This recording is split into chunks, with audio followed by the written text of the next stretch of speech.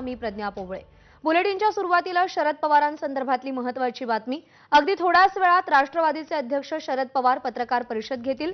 राष्ट्रवादी काँग्रेसमध्ये प्रदेशाध्यक्ष पदासंदर्भात सध्या जोरदार हालचाली सुरू आहेत.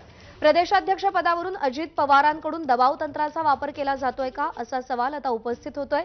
प्रदेशाध्यक्षपद अजित पवारांनी स्वीकारावं अशी समर्थकांची मागणी आहे. राष्ट्रवादीचे अध्यक्ष शरद पवार यांच्या भूमिकेकडे आता लक्ष असेल. तर देवगिरीवरती अजित पवारांच्या उपस्थितीमध्ये महत्वाची बैठक होतीये.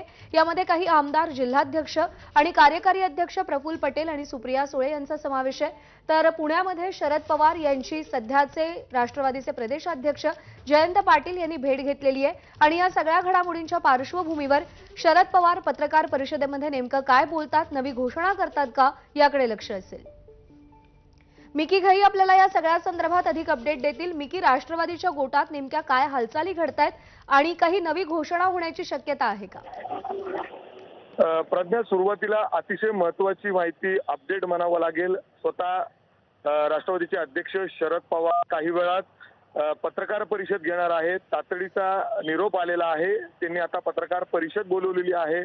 स्वतः ते पुण्यातील मोदीबाग या ठिकाणी आहे आणि इथंच ते आता काही वेळातच पत्रकारांशी संवाद साधणार आहेत आणि नेमकं त्यांना काय बोलायचं हे यातून स्पष्ट होईल. मात्र आपण सकाळपासून जर हालचाली बघितले तर ज्या पद्धतीने पुण्या मुंबईतील ब- ब- अजित पवारांच्या बंगल्यावर त्या ठिकाणी बैठक सुरू झालेली आहे. अनेक आमदार जिल्हाध्यक्ष त्या ठिकाणी उपस्थित आहे.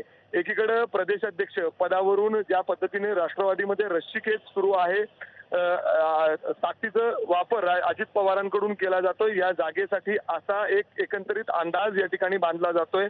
कारण आपण बघितलं तर सुप्रिया सुळेंचे देखील आज पुण्यामध्ये अनेक कार्यक्रम होते. त्यांचा दौरा ठरलेला होता. मात्र ऐनवेळी अचानक हा दौरा सुप्रिया सुळेंनी रद्द केलेला आहे आणि सुप्रिया सुळे देखील त्या ठिकाणी शि- अजित पवारांच्या बंगल्यावर पोहोचलेले आहेत. त्या ठिकाणी ही बैठक अजित पवारांच्या उपस्थितीत सुरू आहे. खरं तर या बैठकीबाबत राष्ट्रवादीच्या अनेक मोठ्या नेत्यांना कल्पना सुद्धा नाही असं त्यांच्याकडून एकंदरीत माहिती समोर येते कारण अजित सुप्रिया सुळेंना या बैठकीसंदर्भात माहिती नव्हती. आता अचानक शरद पवार या ठिकाणी आहेत. त्यांना या बैठकीबद्दल माहिती आहे की नाही असा देखील प्रश्नचिन्ह या ठिकाणी उपस्थित होतो.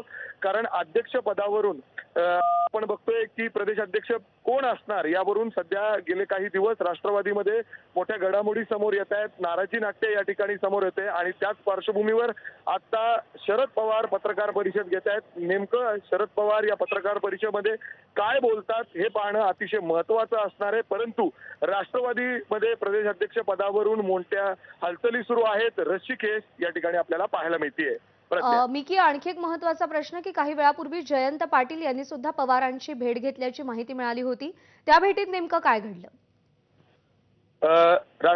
सकाळपासून जर बघितलं तर अनेक लोक शरद पवारांना भेटून गेलेले आहेत. त्यामध्ये सर सुरुवातीला अनिल देशमुख देखील पुण्यामध्ये आहेत. त्यांनी देखील काही वेळापूर्वी शरद पवारांची त्यांच्या मोदी बागेत जाऊन भेट घेतलेली आहे. जवळपास अर्धा तास ते या ठिकाणी होते. त्याच्या वेगवेगळ्या विषयांवर चर्चा देखील झालेली आहे असं स्वतः अनिल देशमुखांनी स्पष्ट केलेलं आहे. त्याचबरोबर जे प्रदेशाध्यक्ष आहेत जयंत पाटील ते येऊन गेलेले आहेत. मात्र अजून देखील ती माहिती समोर आलेली नाहीये. किंबहुना ते ऑन द वे आहेत. शरद पवारांच्या भेटीसाठी ते इथं पोहोचतील.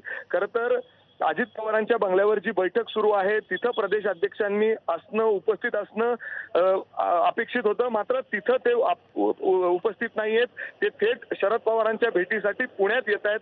अशी माहिती या ठिकाणी आहे. मात्र अनेक मोठे नेते या ठिकाणी शरद पवारांच्या भेटीसाठी पुण्यातील मोदीबाग त्यांच्या कार्यालयात पोहोचत आहेत त्यामध्ये अनिल देशमुख सुरुवातीला भेटून गेलेले आहेत. ते अजून देखील पुण्यामध्येच आहेत.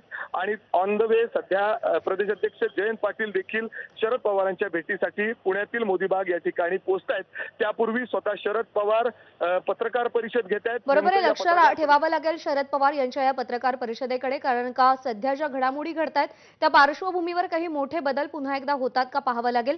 मिकी तू सोबत राहाच आपण इकडे अभिषेक मुठाळकडे जाऊयात. अजित पवार यांच्या देवगिरी निवासस्थानाबाहेरून अभिषेक मुठाळ सध्या आपल्यासोबत आहेत.